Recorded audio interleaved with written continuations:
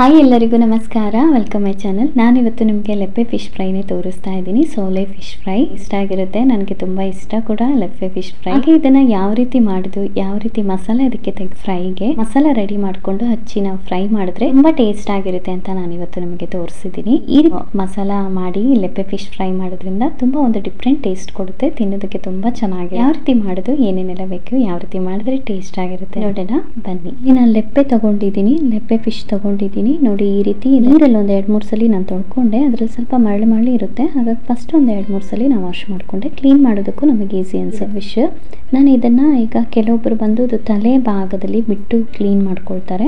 ಆ ರೀತಿ ಕೂಡ ಮಾಡ್ಕೋಬಹುದು ಆದ್ರೆ ನಾನು ಬಂದು ತಲೆ ಭಾಗನ ಬಿಡೋದಿಲ್ಲ. ನಾನು ತೆಗೆದು ಬಿಡ್ತೀನಿ. ನಾನು ಬಂದು ಫಿಶ್ ಕಟ್ ಮಾಡೋ ಸಿಸರ್ ನಾನು ಅದನ್ನ ಕಟ್ ಮಾಡಿ ತಗೊಂಡೆ. ಈ ರೀತಿ ಸುಳಿದು ತಗೊಳ್ತಾ ಇದ್ದೀನಿ ನೋಡಿ. ಈ ರೀತಿ ನಾನು ಕ್ಲೀನ್ ಆಗಿ ಅದನ್ನ ಬಿಡಿಸಿ ನಾನು ಸುಳಿದು ತಗೊಳ್ತೀನಿ. ಕ್ಲೀನ್ ಮಾಡೋದಕ್ಕಿಂತ ಮುಂಚೆ ಒಂದ್ ಎರಡ್ ಮೂರು ಸಲ ನೀರಲ್ಲಿ ವಾಶ್ ಮಾಡಿ ಸ್ವಲ್ಪ ಹೊತ್ತು ನೀರಲ್ಲಿ ಬಿಟ್ರೇನೆ ಸಾಕು. ನಮಗೆ ಸುಳಿದು ತೆಗೆಯೋದಕ್ಕೆ ಈಸಿ ಆಗುತ್ತೆ. ಹಾಗೆ ನಾವು ನೀಟಾಗಿ ಸುಳಿದು ತಗೋಬಹುದು ಇಲ್ಲಿ ನೋಡಿ ನಾನು ಈ ರೀತಿ ಕ್ಲೀನ್ ಮಾಡ್ಕೊಳ್ತಾ ಇದ್ದೀನಿ. ಮತ್ತೆ ಆ ಹೊಟ್ಟೆ ಸೈಡ್ ಭಾಗದಲ್ಲಿ ಕೂಡ ನಮಗೆ ಅಲ್ಲಿ ಕ್ಲೀನ್ ಮಾಡೋದಿದೆ. ಅಲ್ಲಿ ಕಾಣುತ್ತೆ ನಿಮಗೆ. ನೋಡಿದ್ರೆ ಗೊತ್ತಾಗುತ್ತೆ. ಕೆಲವೊಬ್ಬರಿಗೆ ಇದು ಕ್ಲೀನ್ ಮಾಡದೆ ಗೊತ್ತಾಗಲ್ಲ. ಅಂದ್ರೆ ಸೈಡ್ ಇರೋರಿಗೆ ಸಾಮಾನ್ಯ ಎಲ್ಲರಿಗೂ ಗೊತ್ತಿರುತ್ತೆ. ಆದ್ರೆ ಕೆಲವೊಂದು ಕಡೆ ಕೆಲವೊಬ್ರಿಗೆ ಗೊತ್ತಿಲ್ಲದೆ ಇರುತ್ತೆ. ಹಾಗಾಗಿ ಇಷ್ಟು ನೀಟಾಗಿ ನಾನು ಅದೇ ರೀತಿ ಕ್ಲೀನ್ ಮಾಡೋದಂತ ತೋರಿಸ್ತಾ ಇದ್ದೀನಿ. ಈಗ ಮತ್ತೊಂದು ಕೊಂಡಿದ್ದೀನಿ ಈ ರೀತಿ ಸಿಪ್ಪೆನ ಸುಳಿದು ತಗೊಳ್ತೀನಿ. ಎರಡು ಸೈಡ್ ನೋಡಿ, ಇದು ನಾನು ಸಿಪ್ಪೆನ ಸುಳಿದು ತಗೊಂಡೆ. ಇದನ್ನ ಕ್ಲೀನ್ ಮಾಡಿ ಮತ್ತೆ ನಾವು ನೀರಲ್ಲಿ ವಾಶ್ ಮಾಡುವಾಗ ಚೆನ್ನಾಗಿ ಒಂದ್ಸಲಿ ವಾಶ್ ಮಾಡ್ಕೊಂಡು ನೀಟಾಗಿ ಹೋಗ್ಬಿಡುತ್ತೆ ನಮಗೆ. ಈಗ ನಾನು ನೀರು ತಗೊಂಡಿದ್ದೀನಿ. ಹಾಗೆ ಒಂದ್ ಎರಡ್ ಸಲ ವಾಶ್ ಮಾಡ್ಕೊಂಡು ಎರಡ್ ಮೂರ್ ಸಲ,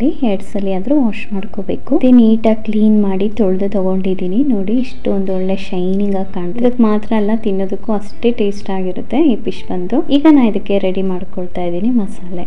ಇಲ್ಲಿ ನಮ್ಮ ಫ್ರೈ ಮಸಾಲ ರೆಡಿ ಮಾಡ್ಕೊಳ್ಳೋದಕ್ಕೆ ಎರಡೂವರೆ tablespoon red chilli powder one tablespoon ಧನಿಯಾ ಪೌಡರ್ ಟೇಬಲ್ ಸ್ಪೂನ್ ಸ್ವಲ್ಪ ಹಳದಿ ಪೌಡರ್ ಒಂದು ಕಾಲ್ ಟೀ ಸ್ಪೂನ್ ಕಾಳು ಮೆಣಸು ಪೌಡರ್ ಹಾಗೆ ಜೀರಿಗೆ ಮತ್ತೆ ಸಾಸಿವೆ ಪೌಡರ್ ಮಾಡಿ ಇಟ್ಕೊಂಡಿದ್ದು. ಸಾಮಾನ್ಯ ಫಿಶ್ ಫ್ರೈಗೆ ಜೀರಿಗೆ, ಸಾಸಿವೆ ಪೌಡರ್ ಮಾಡಿ ಇಟ್ಕೊಂಡ್ರೆ ತುಂಬಾ ಟೇಸ್ಟ್ ಒಳ್ಳೆ ರುಚಿ ಕೊಡುತ್ತೆ ನಮಗೆ ತಿನ್ನೋದಕ್ಕೆ. ಅರ್ಧ ಟೀ ಸ್ಪೂನ್ ಅಷ್ಟು ಹಾಕೊಂಡೆ. ಹಾಗೆ one tablespoon ginger garlic paste ಒಂದು ಲಿಂಬು ರಸ, ಎರಡು ಟೇಬಲ್ ಸ್ಪೂನ್ ಎಣ್ಣೆ ಹಾಕೊಂಡಿದ್ದೀನಿ.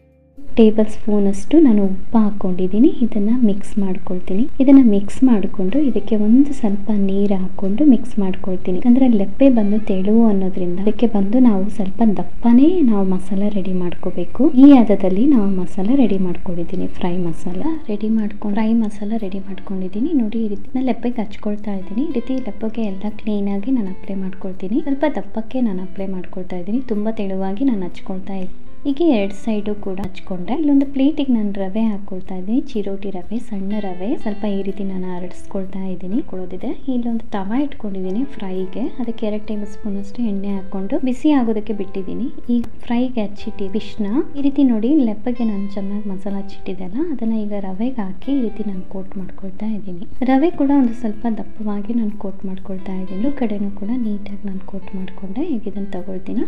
ಫ್ರೈಗೆ ಹಾಕ್ಕೊಂಡು ಮತ್ತೊಂದು ಕೂಡ ನಾನು ರವೆ ಹಚ್ಚಿ ತೋರಿಸ್ತೀನಿ. ಇದೇ ರೀತಿ ನಾನು ಮತ್ತೊಂದು ಕೂಡ ನಾನು ಇದೇ ರೀತಿ ಕೋಟ್ ಮಾಡ್ಕೊಳ್ತಾ ಇದ್ದೀನಿ. ನೋಡಿ ಎಷ್ಟು ದಪ್ಪ ನಾನು ಮಸಾಲೆ ಹಚ್ಚಿದ್ದೀನಿ. ಹಾಗೆ ರವೆ ಕೂಡ ನಾನು ದಪ್ಪಕ್ಕೆ ಹಚ್ಕೊಳ್ತಾ ಇದ್ದೀನಿ. ತೆಳುವಾಗ ಹಚ್ತಾ ಇಲ್ಲ. ಈಗ ಇದೇ ರೀತಿ ಎಲ್ಲದೂ ಕೂಡ ಕೋಟ್ ಮಾಡಿ ನಾನು ಹಾಕ್ಕೊಳ್ತೀನಿ. ಫ್ರೈಗೆ ನಾನು ಎಲ್ಲದನ್ನು ಕೂಡ ಕೋಟ್ ಮಾಡಿ, ಇದೇ ರೀತಿ ಐದು ನಾನು ಕೋಟ್ ಮಾಡಿ ಇಟ್ಕೊಳ್ತಾ ಇದ್ದೀನಿ ಲೆಪ್ಪು.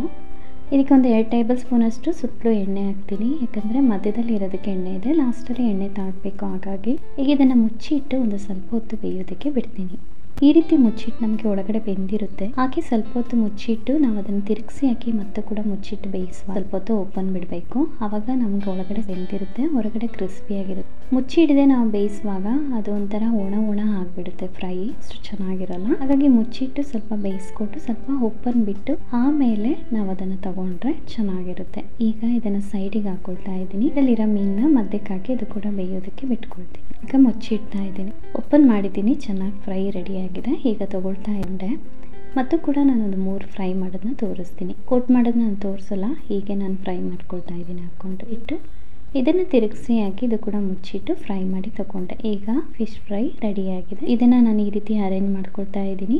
ನೋಡಿ, ಒಳಗಡೆ ಚೆನ್ನಾಗಿ ಬೆಂದಿದೆ, ಹಾಗೆ ಮೇಲ್ಗಡೆ ಕ್ರಿಸ್ಪಿಯಾಗಿದೆ ನಾನು ಈ ರೀತಿ ನಾನು ಅರೇಂಜ್ ಮಾಡ್ಕೊಂಡೆ. ಈಗ ನಾನು ಈರುಳ್ಳಿ ಕಟ್ ಮಾಡಿ ಇಟ್ಕೊಂಡಿದ್ದೆ. ಈ ರೀತಿ ಚಿಕ್ಕ ಚಿಕ್ಕ ತಿನ್ನುವಾಗಲೂ ನಮಗೆ ಚೆನ್ನಾಗಿ ಟೇಸ್ಟ್ ಕೊಡುತ್ತೆ. ಹಾಗೆ ನೋಡೋದು ಅಟ್ರಾಕ್ಷನ್ ಆಗಿರುತ್ತೆ. ಹಾಗಾಗಿ ಅದರ ಮೇಲೆ ನಾನು ಕೊತ್ತಂಬರಿ ಸೊಪ್ಪು ಕೂಡ ಕಟ್ ಮಾಡಿ ಉದುರಿಸಿದ್ದೀನಿ. ಅಷ್ಟೇ ಸುಂದರವಾಗಿ ಕಾಣ್ತಾ ಇದೆ. ಇವತ್ತೊಂದು ಒಳ್ಳೆ ಫಿಶ್ ಫ್ರೈ ನಾನು ನಿಮಗೆ ತೋರಿಸಿದ್ದೀನಿ. ಖಂಡಿತ ಟ್ರೈ ಮಾಡಿ ಮಾಡಿ ತಿಂದು ನೋಡಿ. ಹೇಗಿದೆ ಅಂತ ನನಗೆ ಕಮೆಂಟ್ ಬಾಕ್ಸಲ್ಲಿ ತಿಳಿಸಿ. ಹಾಗೆ ನನ್ನ ಚಾನಲ್ಗೆ ಸಬ್ಸ್ಕ್ರೈಬ್ ಆಗಿ ಈ ವಿಡಿಯೋ ನಿಮಗೆ ಇಷ್ಟ ಆದರೆ ಲೈಕ್ ಮಾಡಿ, ಶೇರ್ ಮಾಡಿ, ಕೆಳಗೆ ಕಾಣೋ ಬೆಲ್ಲೈಕನ್ ಕ್ಲಿಕ್ ಮಾಡಿ. ಹೀಗೆ ಮಾಡೋದ್ರಿಂದ ನಾನು ಹಾಕೋ ವಿಡಿಯೋ ಎಲ್ಲ ನೋಟಿಫಿಕೇಶನ್ ನಿಮಗೆ ಸಿಗುತ್ತೆ. ಮತ್ತೊಂದು ವಿಡಿಯೋದಲ್ಲಿ ಮತ್ತೊಂದು ರೆಸಿಪಿಯೊಂದಿಗೆ ನಾನು ನಿಮಗೆ ಸಿಗ್ತೀನಿ. ಈಗಾಗಲೇ ನೀವು ಕೊಡ್ತಾ ಇರೋ ಸ್ವಲ್ಪ ತುಂಬ ಧನ್ಯವಾದಗಳು.